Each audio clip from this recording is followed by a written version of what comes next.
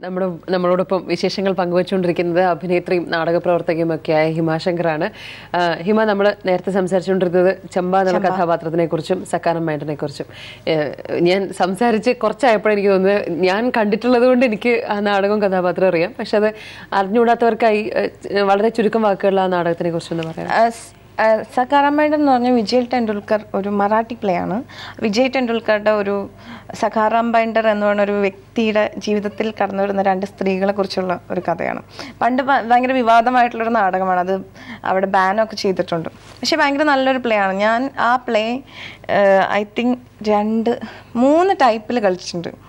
മൂന്ന് ടൈപ്പ് എന്ന് പറഞ്ഞാൽ ഇവിടെ വരുന്നതിന് മുമ്പ് ഞാൻ കാലടി സംസ്കൃത് യൂണിവേഴ്സിറ്റിയിൽ ഒരു ഒരു അബി പ്രകാശ് എന്ന് പറഞ്ഞ ചേട്ടന്റെ പ്ലേ പ്രൊഡക്ഷനായിട്ട് ഞാൻ അതിൽ ചമ്പയെ തന്നെ വേറൊരു കോസ്റ്റ്യൂമിൽ ചെയ്തിട്ടുണ്ട്. ഒരു കുഞ്ഞു ഒരു നമ്മുടെ സ്കൂൾ പ്രൊഡക്ഷൻ സ്റ്റൈലും പിന്നെ ടൂ തൗസൻഡ് സിക്സിൽ ചെയ്ത ചമ്പ. അതിൽ അത് അതും ടൂ തൗസൻഡ് ടെന്നിൽ ചെയ്ത ചമ്പയും മൂന്ന് മൂന്നായിരുന്നു. അല്ല മീൻസ് രണ്ടും രണ്ടായിരുന്നു. ആ മൂന്നെണ്ണം ഞാൻ ചെയ്തിട്ടുണ്ട്. അപ്പോൾ ആ ചമ്പ ഇപ്പം ഈ- ഈ സക്കറമേണ്ടയുടെ ജീവിതത്തിൽ വന്ന രണ്ട് ക്യാരക്ടേഴ്സ് ഒന്ന് അയാളെ കംപ്ലീറ്റ് ആയിട്ട് അനുസരിക്കുന്ന ഒരു പെൺകുട്ടി ഒരു സ്ത്രീ ഒരു ബ്രാഹ്മണായിട്ടുള്ള സ്ത്രീ. അത് കഴിഞ്ഞിട്ട് അയാൾ ഈ ഈ രണ്ട് പേരിൽ അയാളുടെ ജീവിതത്തിൽ എട്ട് സ്ത്രീകളുണ്ട്. പക്ഷേ ഈ രണ്ട് സ്ത്രീകളുടെ കഥയിലൂടെയാണ് പോകുന്നത്. അപ്പോൾ അത് കഴിഞ്ഞ് പിന്നെ കൊണ്ടുവരുന്ന സ്ത്രീയാണ് ഈ ചമ്പ. അപ്പോൾ ഈ ചമ്പയുടെ ഇതെന്ന് പറഞ്ഞാൽ ചമ്പ ചെറിയ പ്രായത്തിലെ അതായത് ഒരു ഒരു ഒരു പെണ്ണാവുന്നതിന് മുമ്പേ നമ്മൾ പറയാം മനസ്സാവുന്നതിന് മുമ്പേ ഒരു പോലീസുകാരന് കല്യാണം കഴിച്ചു കൊടുത്ത് അവിടെ ഒരുപാട് അയാൾ ഒരു ഒരുപാട് പീഡനങ്ങളൊക്കെ ഏൽപ്പിച്ചിട്ടുണ്ട്. അപ്പം ഒരു ചെറിയ കുട്ടിയായിരിക്കുമ്പോൾ തന്നെ ഒരുപാട് വിഷമിച്ച് ഇനിയിപ്പോൾ ഒന്ന് അത്രയും പീഡനങ്ങളൊക്കെ ഏറ്റ് അവൾ ബോൾഡായി ഇനിയിപ്പോൾ എന്ത് വന്നാലും ഞാൻ നേടും. ആ ചെറിയ പ്രായത്തിൽ കല്യാണം കഴിച്ച പെണ്ണിന് ഒരു തേർട്ടി ഫൈവ് ഇയേഴ്സ് ആയിട്ടുള്ള അത്ര അനുഭവങ്ങളിലൂടെ കടന്നു വന്ന് ആരെയും വാ വാടാ എന്ന് വിളിക്കുന്ന നീ ഇങ്ങോട്ട് വന്നാൽ വെട്ടും വെട്ടാണെങ്കിൽ വെട്ടും. അങ്ങനത്തെ ഒരു ടൈപ്പുള്ള ഒരു ക്യാരക്ടർ ഈ ക്യാരക്ടറിനെ സകാരമായിട്ട് കൊണ്ടുവരുന്നിടത്താണ് ഈ നാടകത്തിന്റെ വേറൊരു ട്വിസ്റ്റ് അതായത് കംപ്ലീറ്റ്ലി ആദ്യം നമ്മൾ കാണുന്ന പെണ്ണിൽ നിന്ന് കംപ്ലീറ്റ്ലി ഓപ്പോസിറ്റ് ആയിട്ടുള്ള ഒരു പെണ്ണാണ്.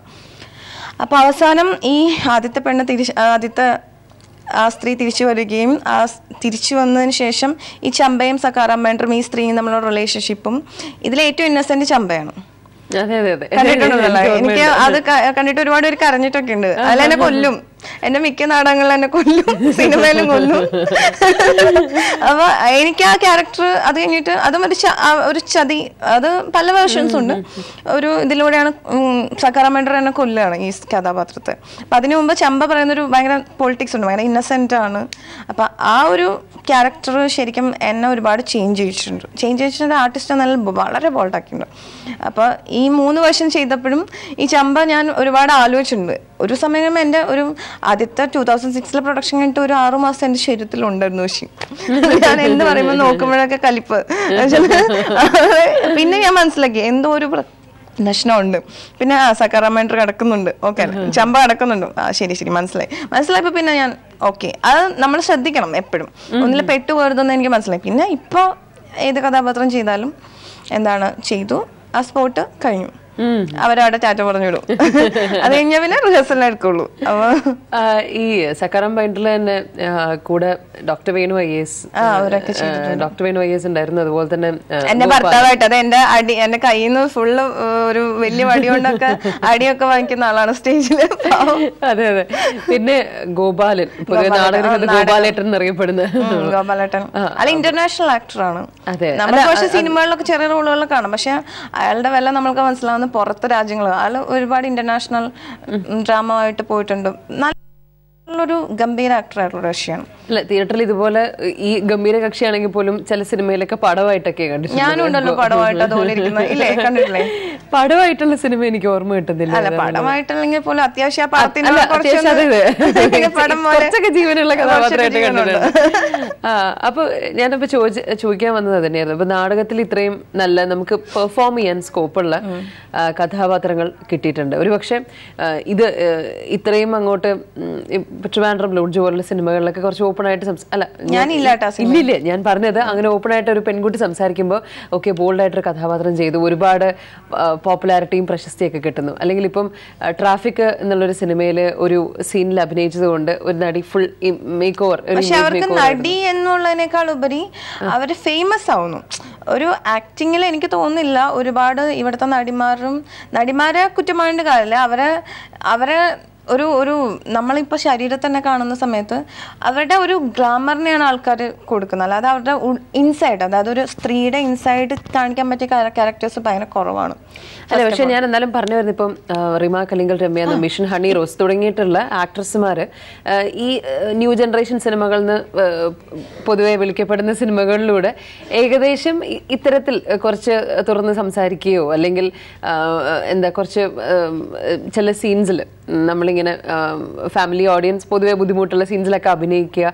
ഇങ്ങനെയൊക്കെ ചെയ്തിട്ട് അവർ ഒരു രീതിയിൽ നല്ല രീതിയിൽ പോപ്പുലർ ആകുന്നു പക്ഷെ നാടകത്തിൽ ഇതേപോലെ തന്നെ ഇതിനെക്കാട്ടിലും കുറച്ചുകൂടെ പെർഫോമൻസിന് സ്കോപ്പ് ഉള്ളത് ചെയ്യുന്നവർ അറിയപ്പെടാതെ പോകുന്നു. അപ്പോൾ സിനിമയിൽ എന്താണ് സംഭവിച്ചത്? ഞാൻ ഈ കൂട്ടുകാരി വേഷങ്ങളിൽ ഒന്ന് രണ്ട് തവണ കണ്ടിട്ടുണ്ട്. കണ്ടിട്ടുണ്ട് ശരിക്കും പറഞ്ഞാൽ സിനിമയിൽ ഞാൻ പറഞ്ഞ പോലെ എനിക്ക് നാടകത്തിൽ ഉണ്ടായിട്ടുള്ള ഒരു ഒരു ഒരു ഇഷ്ടമുണ്ടല്ലോ. ഞാൻ സ്കൂൾ ഓഫ് ഡ്രാമ ചെന്ന് കഴിഞ്ഞപ്പോൾ എന്നോട് ഒരുപാട് പേര് പറഞ്ഞിട്ട് നീ ഇവിടെ സിനിമയിൽ അഭിനയിക്കാൻ വേണ്ടി വന്നതാണ്. അല്ലാണ്ട് നാടകത്തിനോട് ആത്മാർത്ഥതയില്ല. ഞാൻ ആലോചിച്ചു ഞാൻ നാടകത്തിനോ സിനിമയ്ക്കോ വേണ്ടിയല്ല അവിടെ വന്ന്.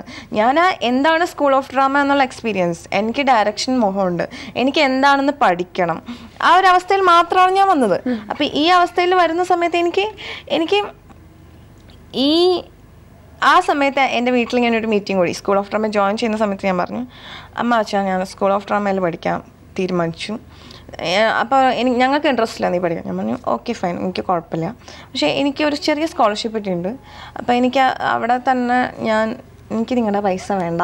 ഞാൻ അല്ലാതെ പഠിക്കാൻ തീരുമാനിച്ചു. നോക്കട്ടെ. എന്ന് വളരെ മാന്യമായും സൗമ്യമായും പറഞ്ഞ്. അപ്പോൾ ഒരു കുറേ ആലോചിച്ചിട്ട് അമ്മ പറഞ്ഞു ആ ശരി. നിനക്ക് അതാണ് ആഗ്രഹമെങ്കിൽ നീ പഠിച്ചോ. പിന്നെ നാളെ തെറ്റിന്നും പറഞ്ഞ് വരരുത്.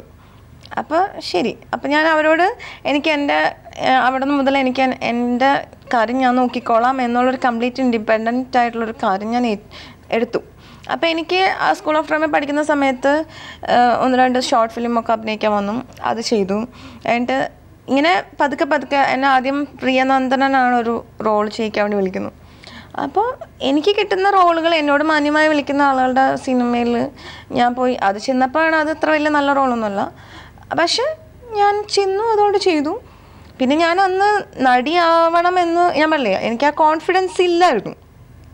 ഞാൻ വി കെ പിടിയൊക്കെ അസിസ്റ്റന്റായിട്ട് ജോലി ചെയ്തിരുന്നു കുറച്ച് നാൾ ഒരു ആർട്സിലൊക്കെ അപ്പോൾ അവിടെയൊക്കെ ആ ഡയറക്ഷൻ എന്നുള്ള സ്വപ്നമായി നടക്കുന്ന സമയത്ത് എനിക്ക് ആക്ട്രസ് ആവണം എന്നുള്ളൊരു വലിയൊരു ആഗ്രഹം ഉണ്ടായിരുന്നില്ല. അപ്പം ഞാൻ എന്റെ ആ സമയത്ത് എന്റെ വട്ടച്ചെലവ് എന്നുള്ളൊരു ലെവലിലുള്ള കുറച്ച് കാശ് ഇതുകളൊക്കെ വന്നപ്പോൾ ഞാൻ ചെയ്തു. ഞാൻ അങ്ങനെ ഒരു വലിയ അതിൽ വലിയ പ്രശ്നമൊന്നുമില്ല. നമ്മൾ മാന്യമായിട്ട് വിളിക്കുന്നു. നമുക്ക് പൊരുത്തപ്പെടാൻ പറ്റുന്ന കാര്യങ്ങളിൽ നമ്മൾ പോയി ചെയ്ത് അഭിനയിക്കുന്നു വരുന്നു. അതിലിപ്പോൾ നടി അത് കഴിഞ്ഞിട്ട് അപൂർവക കഴിഞ്ഞപ്പോൾ എല്ലാവരും തിരിച്ചറിഞ്ഞു തുടങ്ങി. അപ്പോഴാണ് എനിക്ക് മനസ്സിലായി പണിയായി. കാരണം ഈ റോൾസൊക്കെ ചെയ്തത് പിന്നെ അത് പണിയായതുകൊണ്ട് എന്നെ തിരിച്ചറിഞ്ഞുകൊണ്ട് മാത്രമല്ല. തിരിച്ചറിഞ്ഞുകൊണ്ട് മാത്രമല്ല പ്രശ്നം. അത് മാത്രമല്ല തിരിച്ചറിയുന്നതിനേക്കാൾ ഉപരി ഞാനേ അഭിനയം എനിക്ക് ഇഷ്ടപ്പെട്ട് തുടങ്ങിയ ഒരു സമയത്താണ് ഇതൊക്കെ പാറിയത്. അതായത് അതിനു മുമ്പ് നമ്മൾ അത് ശ്രദ്ധിച്ചിട്ടില്ല. പക്ഷെ അഭിനയം എനിക്ക് ഇഷ്ടപ്പെട്ടു ഐ ക്യാൻ ഡു എന്നുള്ളൊരു കോൺഫിഡൻസ് വന്നു തുടങ്ങിയപ്പോഴാണ് ഇപ്പം ചെയ്ത വർക്കുകളൊക്കെ പ്രശ്നമായത്. പിന്നെ ഞാൻ പറഞ്ഞില്ലേ ഒരു തരം എന്റെ പിന്നെ കുറച്ചും കൂടി ഞാൻ അങ്ങനത്തെ റോൾസ് ഞാൻ ഫോൺ നമ്പർ പോലും മാറ്റിയിട്ടുണ്ട് ഒരു സമയത്ത് കൂട്ടുകാർ റോളുകൾ എന്താണ് എത്ര കൂട്ടുകാരി ഓഫർ കിട്ടിയിട്ടുണ്ട്? അപൂർവരാഗമൊക്കെ കഴിഞ്ഞതിന് ശേഷം ഒരുപാട്. എനിക്കൊന്നും എണ്ണീട്ടൊന്നുമില്ല. പിന്നെ ഞാൻ ഫോൺ നമ്പർ മാറ്റി പിന്നെ കുറേ നാൾ ഒരു ശല്യമായിരുന്നു പക്ഷേ പിന്നെ ഞാൻ ഒരു സമയത്ത് ഞാൻ പറയാം എന്റെ ഒരു ഞാൻ ഒരു സ്റ്റഡിയിലേക്ക് തിരിഞ്ഞു. അതായത് എന്റെ പേഴ്സണൽ ഇൻട്രസ്റ്റ് കൊണ്ട് മാത്രം ഞാൻ സ്റ്റഡിയിലേക്ക് തിരിഞ്ഞു. അത് കുറച്ച് ഹെവി ആയിട്ടുള്ള സ്റ്റഡി ആയിരുന്നു. ആ സമയത്ത് ഞാൻ വളരെ കുറച്ച് നാടകങ്ങളും കുറച്ച് കാര്യങ്ങളും ചെയ്യുക. എന്റെ ഇൻട്രസ്റ്റ് മൊത്തം ഈ ഒരു കാര്യത്തിലായിരുന്നു. നമ്മളൊരു അതിൽ നിന്നാണ് ഞാൻ എന്റെ തിയേറ്റർ ഓഫ് സോൾ സീക്കേഴ്സ് എന്ന് പറഞ്ഞൊരു തിയേറ്റർ ഗ്രൂപ്പിന്റെ ഒരു ഒരു തോട്ട് ഉണ്ടാക്കിയത് ബേസിക് തോട്ട്. എന്റെ ഈ സ്റ്റഡി എന്നെ ഒരുപാട് മാറ്റിയിട്ടുണ്ട് ഒരുപാട് കാര്യങ്ങളിലേക്ക്. അപ്പോൾ എന്റെ ആ പെർസ്പെക്റ്റീവ്സിനെ ചേഞ്ച് ചെയ്തു. എനിക്ക് മനസ്സിലായി നമ്മളായി തന്നെ നിന്നാൽ മാത്രമേ നമുക്ക് പേഴ്സണാലിറ്റി ഉണ്ടാവുള്ളൂ. അപ്പോൾ സിനിമ ഞാൻ ഒരിക്കലും തേടി പോയിട്ടില്ല വേറെ രീതിയിൽ. ഞാൻ എന്റെ എനിക്ക് എന്റെ അറിവ് അറിവ് തേടി പോയിട്ടുണ്ട്. അറിവ് തേടി പോയിട്ടുണ്ട്. ആ, ചില പ്രണയം തേടി പോയിട്ടുണ്ട് പക്ഷെ കിട്ടിയിട്ടില്ല. രണ്ടാമത്തെ കാര്യം അത് ചില ആ ഒരു ഇതിലും എന്താ- എന്താ തേടി അത് കിട്ടില്ല എന്നെങ്കിൽ മനസ്സിലായതുകൊണ്ടാണ് ഞാൻ പിന്നെ അത് നിർത്തി. ഇപ്പൊ ഒന്നുമില്ല.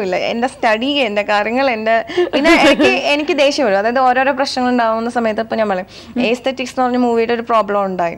ഇപ്പൊ ഒരു വിവാദം നേരത്തെ ഫസ്റ്റ് നമ്മൾ പറഞ്ഞ വിവാദം ഉണ്ട്. ആ സമയത്ത് എനിക്ക് ദേഷ്യം വരാം. കാരണം ഡേ ഒരു നാല് മാസമായിട്ട് ഡെയിലി ആൾക്കാർ എന്താ പറയുക ഒരു ഒരു ഫോട്ടോ അതായത് ഒരു ഫോട്ടോയുടെ പേരിൽ പത്ത് ഒരു കുറെ പേര് ഈ ഫോട്ടോ അയച്ചിട്ടും എന്നിട്ട് പുതിയ മൂവിയാണോ എന്നാണ് ഷൂട്ട് എന്നാണ് റിലീസ് അല്ലേ അതിന്റെ പിന്നിൽ എന്താണ് ആകാംക്ഷയാണോ? നമ്മളോടുള്ള സ്നേഹവും കൺസേൺ ഒക്കെയാണോ? അതോ ചിലരത് കണ്ട് ഞെട്ടിയിട്ട് ഒക്കെ എന്നോട് മെസ്സേജ് ചിലര് എന്നാ ഷൂട്ട് റിലീസ് എന്നൊക്കെ പറഞ്ഞു. ഇത് ഈ ഡെയിലി ഞാൻ ഇവർക്ക് കാരണം ഇത് ഷൂട്ട് ചെയ്യാത്ത മൂവിയാണ് നാല് വർഷം മുമ്പ് എനിക്ക് രൂപേഷ് നാല് വർഷം മുമ്പേ. അതായത് ഞാൻ സ്കൂൾ ഓഫ് ഡ്രാമ പഠിക്കുമ്പോൾ അപ്പൊ സ്കൂൾ ഓഫ് ഡ്രാമ പഠിക്കുന്ന സമയത്ത് എന്റെ ഫ്രണ്ട്സ് ആണ് അതിന്റെ ഫോട്ടോഗ്രാഫ് അപ്പൊ നമ്മൾ അങ്ങനെ വലിയ ടെൻഷൻ അടിച്ചൊന്നും ചെയ്തൊരു വർക്കൊന്നുമല്ല. പക്ഷെ ആ ഫോട്ടോഗ്രാഫി എടുത്തു കഴിഞ്ഞു. അത് കഴിഞ്ഞിട്ട് പിന്നെ ഞാനത് പറ ആളെ വിളിച്ച് പറയണ്ടായിരുന്നു ഒരു കുറച്ച് നാൾ മുമ്പ്. ചേട്ടാ അത് ഷൂട്ട് ചെയ്യുന്നില്ലെങ്കിൽ അത് എടുത്ത് മാറ്റണം. എനിക്കത് താല്പര്യമില്ല. കാരണം ഷൂട്ട് ചെയ്യുന്നുണ്ടെങ്കിൽ എനിക്ക് അതിന്റെ കൃത്യമായിട്ടുള്ള ഒരു റെലവൻസ് ഉണ്ട് ആ സീനിന് അപ്പോൾ എടുത്ത് മാറ്റണം. അപ്പോൾ അയാൾ പിന്നെ എനിക്കറിയില്ല. പിന്നെ ഞാൻ ഫോണിലൊന്നും വിളിച്ചിട്ട് കിട്ടിയില്ല. ഞാൻ വിട്ടുപോയി. നീ അടുത്ത് കുറേ കാലങ്ങളായിട്ട് ആൾക്കാർ ഇത് മെസ്സേജ് ചെയ്ത് തരാം. അപ്പം എനിക്കിത് റിലീസ് ആകാൻ പോകുന്ന മൂവിയാണെന്ന് എല്ലാവരും അറി അങ്ങനെ ഒരാൾ കരുതുന്നതുകൊണ്ട് താല്പര്യമില്ലാതെ എല്ലാവർക്കും മറുപടി കൊടുക്കും. പിന്നെ അത് കൂടി കൂടി വന്നു വാട്സപ്പിൽ ഇതിൽ. അത് മാത്രമല്ല നമ്മളത് ഗൂഗിൾ സെർച്ച് ചെയ്താൽ പോലും അപ്പൊ- ഞാൻ ആദ്യം എനിക്ക് ഒരു സമയം എനിക്ക് പ്രാന്തായി. ഓഫ് ഇത് എന്താണ് അവസാനം ഒരു ദിവസം എന്റെ ഒരു ഫ്രണ്ട് വിളിച്ചു പറഞ്ഞു ഇടി നിന്നെ ഞങ്ങൾക്ക് അറിയാം പക്ഷെ ഇതൊക്കെ ആൾക്കാർ ഇങ്ങനെ പറഞ്ഞു. അപ്പൊ ഞാൻ പക്ഷേ ശരി ഇനിയിപ്പോ രണ്ടും കൽപ്പിച്ചൊരു പോസ്റ്റ് അതെ എനിക്ക് അത് ക്ലിയർ ചെയ്യണം. കാരണം കുറെ നാളായി ഞാൻ ഇത് മറുപടി കൊടുത്ത് ഞാൻ തന്നെ മടുത്തിരിക്കണം. അപ്പൊ ഞാൻ ഒരു ദിവസം ഒരു പത്ത് പതിനഞ്ച് മിനിറ്റ് ആ സ്പോട്ടിൽ ആ എമോഷനൊക്കെ വെച്ചിരുന്ന് എഴുതിയതാണ്. പക്ഷെ അത് ഇത്ര ഇങ്ങനെ ആൾക്കാർ എടുക്കുമെന്നോ ആൾക്കാർ ഇത്ര പിന്നെ എനിക്ക് മനസ്സിലായി. ആരാണ് എന്റെ ഫോട്ടോ ഫേമസ് ആക്കിയത് അവർക്ക് തന്നെയാണ് ഇത് കൊണ്ടിട്ടുള്ളതും. അപ്പൊ പിന്നെ ഫോട്ടോ എനിക്കത് മോശം ഫോട്ടോ ആയിട്ട് തോന്നുന്നില്ല. കാരണം ഇപ്പൊ നമ്മൾ കേരളത്തിലായതുകൊണ്ടാണ് അല്ലെങ്കിൽ ഒരു ഒരു ഒരു ആർട്ട് വർക്കിന്റെതായുള്ള ഒരു പിന്നെ അത് ബ്രാൻഡഡ് ആണ്. മീൻസ് ഒരു വർക്കിന്റെ പേരിലാണ്. അപ്പൊ കൃത്യമായിട്ട് പിന്നെ മാത്രമല്ല ആ നാല് വർഷം മുമ്പത്തെ രൂപേഷ് പോൾ എനിക്ക് ഓക്കെ ആയിരുന്നു. പക്ഷെ ഞാൻ കാണുന്ന ഒരു വ്യക്തി ഇപ്പോഴത്തെ രൂപേഷ് പോൾ എനിക്കറിയില്ല. ഞാൻ എനിക്കറിയില്ല. കാരണം ഞാൻ അത് കഴിഞ്ഞിട്ട് ആളുടെ വർക്കുകളൊക്കെ ഇതൊക്കെ കാണുകയും ചെയ്യുന്ന സമയത്ത് ഇപ്പൊ ചിലപ്പോൾ ഞാൻ അത് ചെയ്യുന്നു എനിക്ക് തോന്നില്ല നാല് വർഷം മുമ്പത്തെ ഒരാൾ എന്താണ് എനിക്ക് അല്ല പക്ഷെ ഞാൻ നമ്മുടെ ഒരു മലയാളി സമൂഹത്തിൽ പൊതുവെ ഇങ്ങനെയൊക്കെ കുറച്ച് രൂപേഷ് പോളിന്റെ കാര്യം എന്നല്ല ഞാൻ ഹിമയുടെ കാര്യം പറയുകയാണെങ്കിൽ നമ്മുടെ ഈ ഒരു സമൂഹത്തിൽ ഇപ്പൊ തൃശ്ശൂർ എന്ന് പറഞ്ഞു തൃശ്ശൂർ ഒരു ഗ്രാമത്തിൽ നിന്ന് വരുന്ന ഒരാൾ ഇപ്പോ ഇപ്പൊ നാട്ടുകാരെന്ത് പറഞ്ഞാലും കുഴപ്പമില്ല. പക്ഷെ ഒരു വീട്ടിലെ നാട്ടുകാർ പണ്ടേ അതായത് ഞാൻ നാടകം പഠിക്കാൻ തുടങ്ങുന്നു എന്ന് പറഞ്ഞ സമയം മുതലേ ഞാൻ ചെറിയ കുട്ടിയായിരിക്കുമ്പോഴേ ഈ അഭിപ്രായ പ്രശ്നങ്ങളുണ്ടായിരുന്നു വീട്ടിൽ അതായത് ഇപ്പോൾ അവിടുത്തെ ഒരു വീട്ടിലെ സെറ്റപ്പ് വെച്ച് ഞാൻ ഇപ്പോൾ ഞാൻ പറയാം എന്ത് കാര്യമുണ്ടെങ്കിൽ ഞാൻ എന്റെ ഇഷ്ടത്തിന് ചെയ്യുമായിരുന്നു. അപ്പം മുതലേ ഒരു തന്നിഷ്ടക്കാരി തന്റെ ഇടക്കാരി എന്നുള്ള ഒരു പേര് ചെറിയ കുട്ടിയായിരിക്കുമ്പോഴേ ഉണ്ട്. കാരണം ഞാനൊന്നും വേണ്ടിയില്ല ഇപ്പം എന്നോട് പോകരുതെന്ന് പറഞ്ഞാൽ ചിലപ്പോൾ ഞാൻ പോകും അങ്ങനത്തെ ഒരു ടൈപ്പാണ് അപ്പോൾ അതുകൊണ്ട് ചെറിയ കുട്ടിയായിരിക്കും മുതലേ ഒരു തനിഷ്ടകാരി തന്റെ അടങ്ങി അല്ലെങ്കിൽ അങ്ങനെ ഒരു പേരുണ്ട്. പിന്നെ നാടകം പഠിക്കാൻ തുടങ്ങിയപ്പോൾ അവർക്ക് ചിലർക്ക് ഇഷ്ടമല്ല. ചിലർക്ക് ആട്ട് ഒട്ടും ഇഷ്ടമല്ല. അപ്പം കുറ്റം പറയും. ഇങ്ങനെ ചെറുപ്പം മുതലേ കുറ്റം കുറ്റം കേട്ട് കേട്ട് പിന്നെ ഇപ്പം ഞാൻ എന്ത് ചെയ്താലും അവർക്കിപ്പോൾ അങ്ങനെ വലിയ ഞാൻ ഞാൻ അമ്മയോട് പറഞ്ഞു അമ്മ ഞാൻ ഇനി എന്ത് ചെയ്താലും ഇതിൽ കൂടുതലൊന്നും അവരിനി പറയൂലല്ലോ കാരണം ഇനി മാക്സിമം അവർ പറഞ്ഞു കഴിഞ്ഞല്ലോ ഇനിയിപ്പോ അതിൽ കൂടുതൽ അവർ എക്സ്ട്രാ ഇനി എന്ത് പറയും? അപ്പം പിന്നെ നമുക്ക് ഞാൻ ചേഞ്ച് ചെയ്യില്ല. അവർ ചേഞ്ച് ചെയ്തോളൂ എന്ന് ഞാൻ പറയും. സിമ്പിൾ അത് നമ്മളല്ല ചേഞ്ച് ചെയ്യേണ്ടത്. നമ്മൾ സത്യമായിരുന്നാൽ അത് എപ്പോഴെങ്കിലുമൊക്കെ പ്രൂവ് ചെയ്യപ്പെടും. ആ പറയുന്നവരുടെ അഭിപ്രായം അവർ തന്നെ മാറ്റിക്കോളും. അത്രേ ഉള്ളൂ. അതെ. പിന്നെ ഇടയ്ക്ക് പ്രണയം തേടിപ്പോയി എന്നൊക്കെ പറഞ്ഞു. അപ്പൊ ആ ഒരു പ്രണയം തേടിപ്പോയ യാത്രയെ കുറിച്ചൊന്ന് പറയോ? അത് പ്രണയം തേടി പോവാന്ന് പറഞ്ഞാൽ എന്നെ സംബന്ധിച്ചിടത്തോളം ഒരു സമയത്ത് എനിക്ക് മനസ്സിലായി നമ്മുടെ ഈ ലൈഫിൽ ഒരു ഒരു ഒരു പ്രണയത്തിനെ കുറിച്ച് പ്രണയം എന്ന് പറയുന്ന അവസ്ഥ എനിക്കൊരു സമയത്ത് ആവശ്യമായിരുന്നു. കാരണം ആവശ്യം എന്നുള്ളതിനേക്കാൾ ഉപരി നമ്മൾ പറയില്ലേ എല്ലാവരും കുറ്റം പറയുന്നു.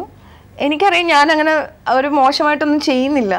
പക്ഷെ എന്ത് ചെയ്യാൻ പറ്റും? അപ്പം ഞാൻ എപ്പോഴും ഒരു സമയത്ത് എന്റെ റിലേഷൻഷിപ്പ് ആണ് എന്നെ ഒരു നല്ല കുട്ടിയായിട്ട് പിടിച്ചിരുത്തിയത്. കാരണം അവരുടെ ഒരു സപ്പോർട്ട് ഇപ്പോൾ വീട്ടുകാരുടെ പോലും എന്നെ തെറ്റിയ സമയത്ത് അങ്ങനെ അത് എന്റെ വീട്ടുകാരോട് ഞാൻ ഓപ്പൺ ആണ്. എനിക്കൊരു റിലേഷൻഷിപ്പ് ഉണ്ടെങ്കിൽ ഞാൻ വീട്ടിൽ വിളിച്ചു പറയും. അങ്ങനത്തെ ടൈപ്പാണ് ഞാൻ. പക്ഷെ അത്ര ഓപ്പൺ ആയിട്ട് എന്റെ വീട് വീട്ടുകാരോടും ബിഹേവ് ചെയ്യുന്ന ഒരാളാണ്. കാരണം ഞാൻ നിർബന്ധം പിടിച്ചിട്ടുണ്ട്. കാരണം എനിക്ക് എന്ത് സംഭവിച്ചാലും ഞാൻ മറ്റുള്ളവർ പറഞ്ഞിട്ടല്ല അത് ഞാൻ പറഞ്ഞിട്ട് അറിയണം എന്റെ വീട്ടുകാർ എന്നുള്ളൊരു നിർബന്ധം എനിക്കുണ്ട്. അതുകൊണ്ടാണ് ഈ പ്രണയത്തിലേക്ക് വരുന്ന സമയത്ത് ഒരു സമയത്ത് ഞാൻ പ്രണയ പ്രണയം തിരഞ്ഞു നടക്കുമായിരുന്നു എന്താ പക്ഷേ ഞാൻ ഉദ്ദേശിച്ച ചില ചില എന്റെ അടുത്തേക്ക് വന്ന ആളുകൾക്കായാലും അല്ലെങ്കിൽ ഞാൻ എനിക്ക് പ്രണയം തോന്നിയ ആൾക്കാർക്കായാലും പലപ്പോഴും നമ്മളോട് ശരി എന്താണ് ശരിക്കും നമ്മൾ ഒരു മെന്റലി ആഗ്രഹിക്കുന്ന ഒരു ഇഷ്ടമുണ്ടല്ലോ. അതിനേക്കാൾ ഉപരി ചിലപ്പോൾ നമുക്ക് തോന്നുന്നത് ഇവർക്ക് അങ്ങനെയല്ല ഇഷ്ടം.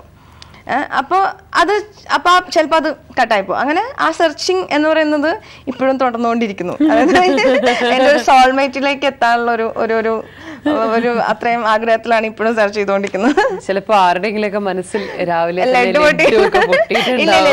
അതൊന്നുമില്ല. കാരണം എന്തായാലും ഇനിയിപ്പോ അങ്ങനത്തെ ഒരാൾ എന്നെ സഹിക്കാൻ പറ്റണ്ടേ? അതെ അതെ. തീർച്ചയായും. അത് കുറച്ച് വലിയ പാടാ യാത്ര ഇനിയും നമുക്ക് തുടരാം.